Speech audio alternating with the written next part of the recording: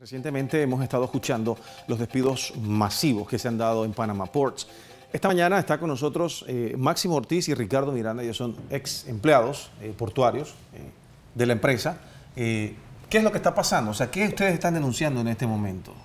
O sea, muy buenos días, gracias por la oportunidad, gracias por la entrevista. Esto, nuevamente el modus operandi de Panama Port, como se suscitó en el 2012, es el mismo y en complicidad con las autoridades, específicamente el Ministerio de Trabajo.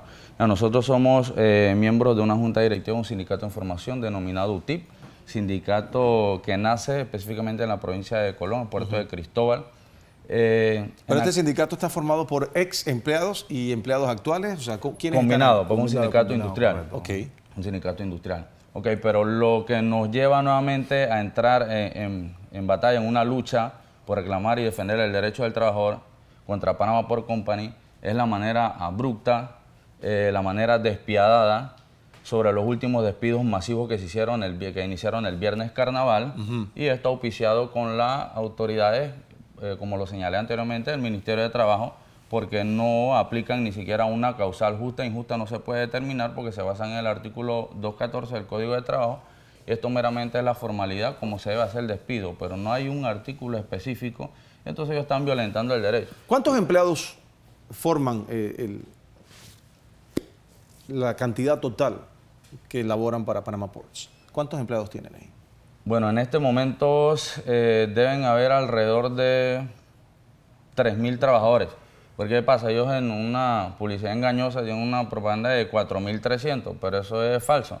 Porque ellos le dan una concesión a una subcontratista eh, denominada Serviestiva, donde transfieren todos los tractoristas y los estibadores y ya no pertenecen a, Panamá Por, más los despidos que se han hecho entre el 2012 y el 2015-16 ahora mismo van alrededor de mil trabajadores. Ahora, pero ¿por qué Panama Ports se desprende de una cantidad tan significativa de empleados? O sea, ¿el, negocio no está bien? ¿Qué, qué justificación hay realmente detrás de todo esto? Bueno, eh, buenos días, eh, pueblo panameño.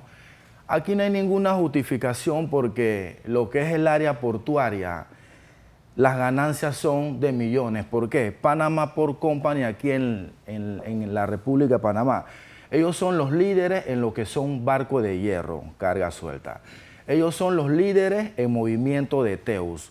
Ellos son los líderes en carga de grano.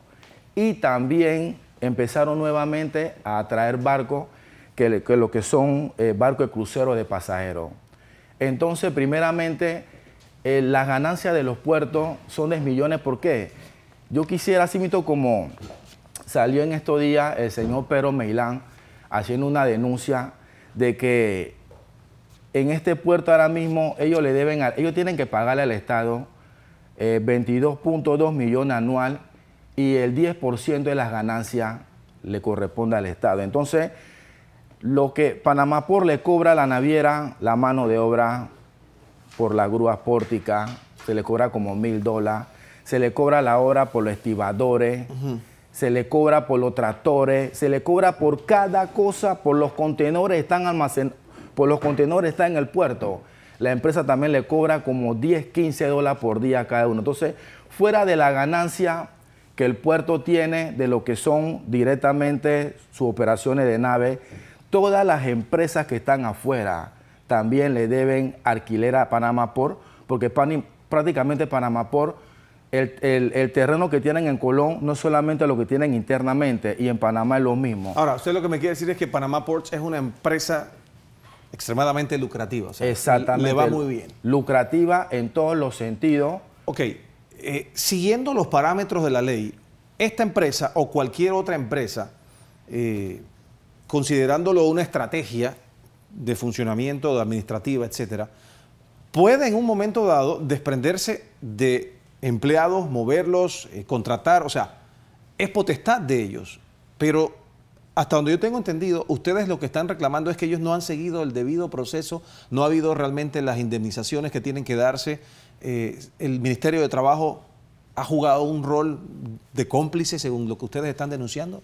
¿Qué, es lo que, ¿Qué es lo que ustedes exigen? Nosotros involucramos aquí directamente al gobierno en turno, porque desde el 2009 en Panamá por Company se dio una huelga de hambre y la empresa votó a más de 500 trabajadores.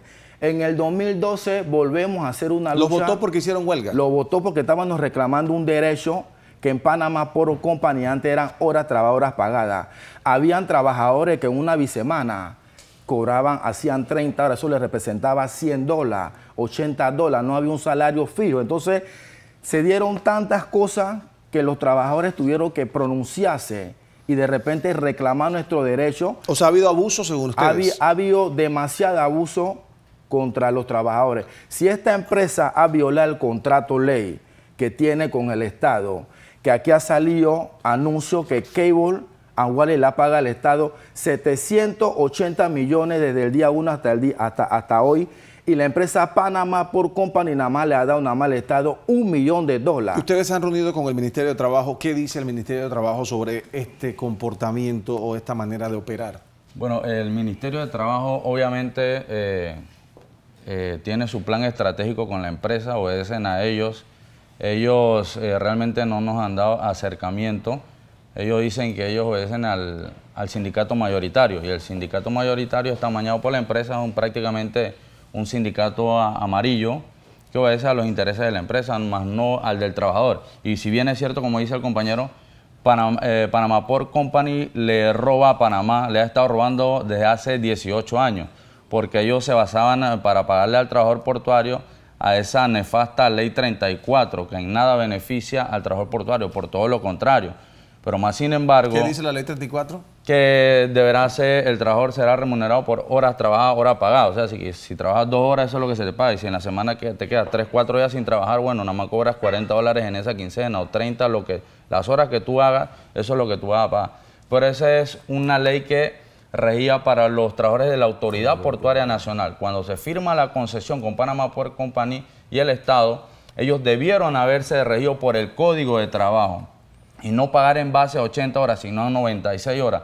Quiere decir que durante bisemana quedaron 16, 32 horas pendientes que se le deben a todos los trabajadores. Imagínense un trabajador que tiene 10, 15, 18 años, se le deben alrededor de más de 40 mil, 50 mil dólares. Esa empresa le roba al Estado porque no le da los dividendos que le corresponde. Pero eso está contemplado en la ley. En el, en el contrato ley, ley número 5 de, del 1997, cuando se firma el contrato ley, que es el que vale, prevalece de ahí en adelante hasta la fecha, porque ellos tienen 25 años de concesión, por cierto le quedan 6 años, hay que estar pendiente para que esta empresa monstruosa no vuelva a repetir esa concesión. ¿Cuál es el, fin o la meta de ustedes en este momento? ¿A dónde quieren llegar? O número uno, que estamos en repudio de los despidos masivos, porque no se puede hacer, como, como bien lo señaló usted y indagó, o sea, no se puede hacer de esa manera exabrupta y cometiendo un acto de terrorismo, o sea, no solo agarrar y poner una bomba, explotar y matar un centenar de personas es un acto de terrorismo, estos señores violando las leyes laborales eh, de nuestro país eh, van a matar de hambre a un sinnúmero de trabajadores porque detrás de ellos están dependientes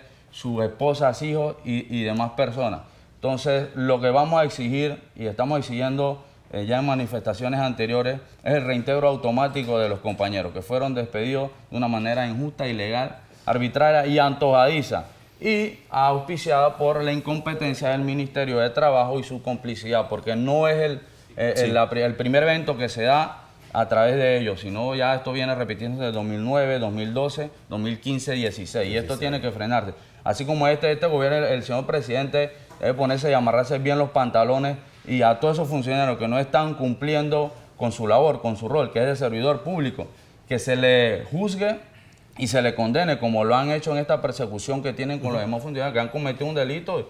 Y bien, no me opongo a eso, pero que eso sea para todos, no solo para unos elegidos. Máximo Ortiz, Ricardo Miranda, ex empleados de Panama Ports, pues denunciando todos estos despidos masivos que se han venido efectuando, eh, los últimos desde el viernes de carnaval hacia acá.